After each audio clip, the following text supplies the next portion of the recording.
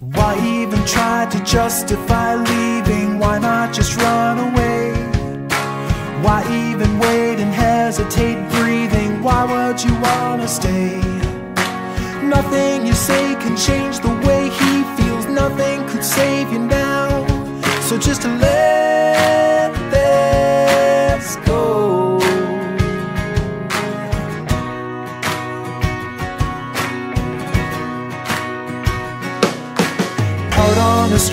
without a wing flying, no one to hold the kite.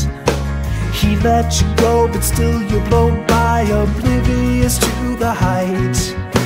Check out behind and you will find nothing's holding you to the ground. He just